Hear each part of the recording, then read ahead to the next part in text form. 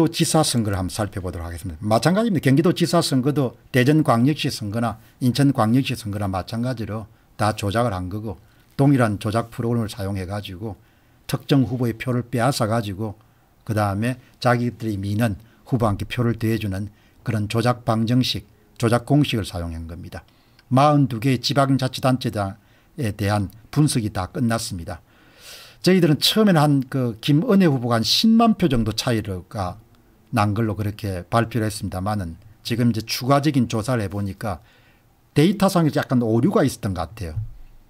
사전투표 선거인 수를 계산하는데 그러니까 한 25만 표 정도까지 차이를 낸 것 같다. 이렇게 수정한 내용을 다음에 시간을 내서 한번 더 발표하도록 하겠습니다. 그러니까 김은혜 후보가 원래는 우리가 10만 표 정도 차이로 사전투표 조작이 없었으면 승리한 것으로 보이는데 25만 표까지 아마 표수가 그것은 아마 이제 계산하는 과정에서 선거인수 숫자를 잘못 넣어가지고 너무 과소 추정된 걸로 보입니다. 예. 여러분들 이렇게 42개 지방자치단체를 차근차근 지금 제가 발표하는데 오늘은 한 군데만 더 발표하도록 하겠습니다. 광명시 한번 보시기 바랍니다. 광명시. 광명시에서는 민주당은 18군데 동에서 모두 다 사전투표 득표율이 당일 투표 득표가 높아가지고 사전투표에 승리를 하게 됩니다. 여러분들 그 그래프가 이렇게 그려집니다. 예. 그냥 딱 보기만 봐도 조작했구나 이런 생각이 들죠. 네. 그런데 조작의 규모가 좀 적기 때문에 우리가 이게 조작인가 그렇지만 이, 이 그래프 보시면 관내 사전투표 득표율 당일 투표 득표를 보시게 되면 뭐 거의 좌우대칭 구조를 갖고 있으면 우리가 확인할 수가 있습니다. 근데 제야 전문가가 훨씬 더 구체적인 이야기를 하죠. 예. 중앙선거관리원회 자료는 이렇게 아주 광범위합니다. 여러분. 그렇기 때문에 보통 사람들은 감을 도저히 잡을 수가 없습니다. 그런데 우리는 어떻게 생각하느냐 이 그래프를 가지고 그림을 그리니까 이제 이런 그래프가 나오는 겁니다. 예, 이런 그래프가 나오는 거죠. 그런데 여러분 이 데이터는 이것만 이 그래프만 보면은 아 이 사람들이 조작을 했겠구나 이렇게 생각이 들죠. 그런데 이제 선거 데이터를 분석해 보면은 이 어마어마한 숫자가 들어가 있기 때문에 엄두가 나지 않습니다. 그런데 이 선거 데이터를 분석하는 사람은 이렇게 가정하는 겁니다. 이 데이터가 다 가짜일 거다. 특히 사전투표 후보별 득표수가 다 조작된 걸 것이다. 그러면 조작됐다는 것은 어떻게 조작했느냐 조작 공장이 있을 것이다. 그 소위 조작 공장이 만들어낸 숫자가 중앙선거관리에 발표된 사전투표 후보별 득표수일 거다 이렇게 보는 거죠. 뭐 결국은 이제 찾아내는 게 뭔가 하니까 조작된 사전투표 득표수를 만들어낸 일종의 조작 방정식을 찾아내는 겁니다. 그 조작 방정식을 딱 찾아내 보니까 뭐를 찾아졌습니까? 이런 게 딱 나온 겁니다. 도표 하나로. 김은혜 후보가 얻은 사전투표 득표수에서는 10%를 빼앗고 정의당의 황순식 후보가 얻은 사전투표 득표에서는 30%를 빼앗고 무소속의 강용석 후보가 얻은 사전투표 득표수에서는 무려 50% 절반을 빼앗는다. 90%를 빼앗아 가지고 누구 함께 넘겨준다. 김동영 후보 함께 넘겨주면 된다. 이런 종류의 뭡니까 조작 방정식을 찾아낸 겁니다. 그럼 그 조작 방정식을 찾아내 가지고 나중에 딱 비교를 해보게 되면 숫자하고 정확하게 일치하는 거죠. 예. 이렇게 이러면 된 겁니다. 예. 그러니까 원래는 경기도 광명시에서 김동영 민주당 후보는 49%를 사전투표에 득표했는데 뻥튀기를 해가 54%를 올려준 것이 바로 중앙선거관리위가 발표한 자료입니다. 김은혜 후보는 원래는 49%를 얻었는데 뻥튀기를 해가지고 완전히 깔아뭉개 가지고 표를 훔쳐가 버려 놓으니까 사전투표 득표율이 44%로 내려앉은 겁니다. 1번 숫자가 가짜라는 겁니다. 기본적으로. 중앙선거관리나 발표한 그런 발표된 사전투표 득표수가 다 조작된 거란 겁니다. 그 이야기는 중앙선거관리나 발표한 뭐죠. 총득표수가 다 조작이 된 거란 겁니다. 그 조작의 조작을 만들어낸 공장을 찾아낸 겁니다. 조작 프로그램을. 그 공장이 뭐냐 이야기죠. 김원혜 함께 10% 황순치기 함께 30% 강용석이 함께 50%를 빼앗는 바로 그것이 뭡니까 그것을 찾아낸 거죠. 그래서 지금 최종 결과를 계산해 보니까 이렇게 딱 나오는 겁니다. 중앙선거관리위원회는 1번 2번 3번 자료를 발표했습니다. 김동영 7만 2천 표 김원혜 6만 3천 표 거의 9천 표자로 김원혜가 졌다 이렇게 발표한 겁니다. 네. 그런데 여러분 실질적으로 1번인 사전투표 득표수가 조작된 거라고 보기 때문에 조작 프로그램을 찾아가지고 수정한 진짜 사전득표수가 4번입니다. 진짜 사전득표수. 김동영은 중앙선관리는 3만 표를 받았다 하지만 실제로는 2만 7천 표를 받았고 김은혜는 중앙선관리는 2만 4천 표를 사전득표에서 받았다고 하지만 실제로는 뭐죠 2만 7천 표를 받았다는 겁니다. 그래서 4번 5번을 더하게 되면 진짜 득표수가 나옵니다. 김동영은 6만 9천 김은혜는 6만 5천 4천 표 차이로 전 거죠. 중앙선거에 발표된 자료는 9천 표짜리로 전 겁니다. 이렇게 자료가 나오는 겁니다. 그런데 여러분 여기서 또 재미나는 게 있지 않습니까? 전산 조작을 해가지고 투표수를 득표수를 그렇게 이렇게 막 만지면은 표가 맞지 않는 현상이 발생하는 거죠. 위에 보시기 바랍니다.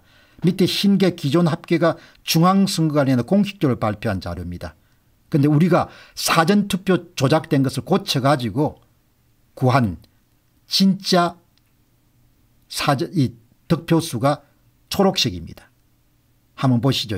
김동영 중앙선관리의 7만 2,415표 진짜 득표수 7만 2,397표 표가 남지 남습니다. 중앙선관위 18표가 남게 됩니다.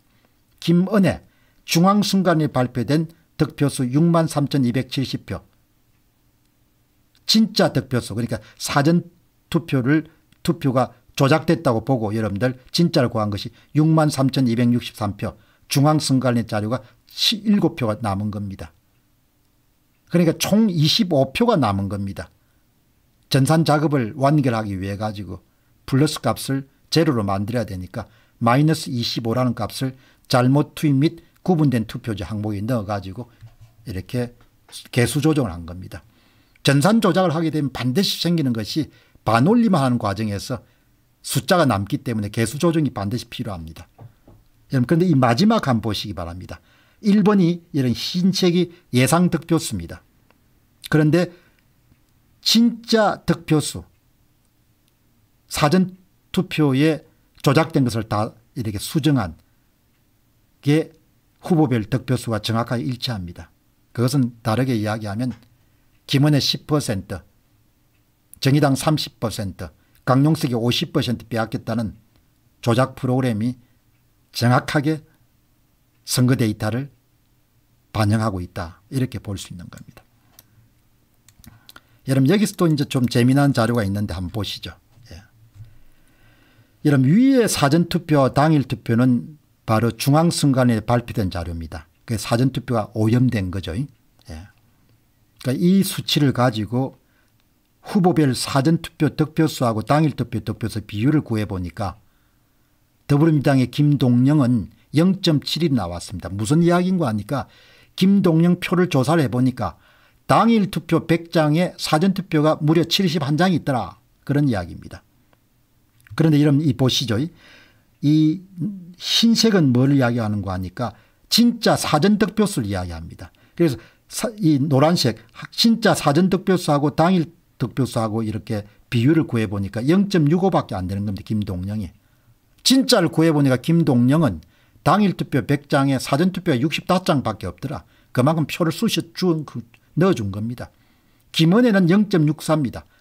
당일투표 100장에 사전투표 64장이 있었는데 진짜를 구해보니까 71장이 있더라. 표를 빼앗긴 겁니다. 진짜 김은혜는 당일 투표 100장에 사전 투표가 이러면 71장이나 됐는데 표를 빼앗겨 가지고 0.64 64장밖에 안 되는 것을 중앙선관위에 발표한 자료입니다. 황순식은 진짜는 66장의 이름 사전투표가 득표수가 있었는데 당일 중앙선관위에 발표된 자료를 보니까 51장밖에 안 되는 겁니다. 그러니까 조작한 사람들은 다 뭐죠. 중앙선관위의 자료가 이렇게 변, 변한 겁니다. 강용석은 중앙선거관리위원회는 강용석이는 당일 투표 100장에 사전 투표는 52장밖에 안 된다. 이렇게 발표를 했으면 뻥을 친 거죠.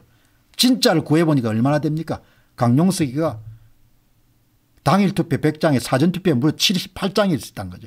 78장을 뭡니까 빼앗아 가지고 52장을 만들어버린 겁니다. 놀라운 것은 여러분 여기에 기본소득당하고 진보당 사람들은 손을 전혀 대지 않았기 때문에 중앙선거관리의 발표 자료나 진짜 자료나 0.60, 0.60, 0.64, 0.65 똑같다는 겁니다. 이렇게 조작을 해가지고 선거를 완전히 뭡니까 사기꾼들이 딱한 겁니다. 예. 사기꾼들도 나쁘지만 이 사기를 보면서도 사기를 덮자는 놈들도 더 나쁜 놈들이 참하대로 참 기가 찬 거죠. 예. 이런 자료 보면 뭐 아주 너무나 명쾌한 자료지 않습니까?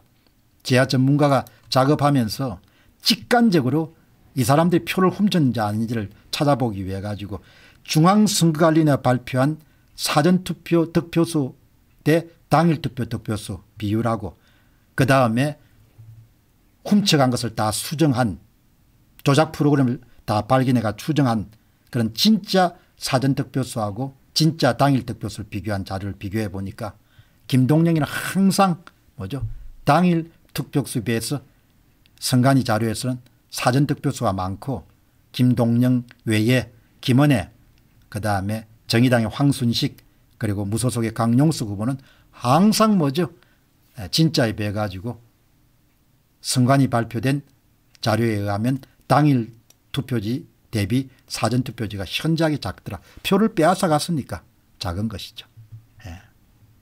예. 이렇게 이름된 겁니다.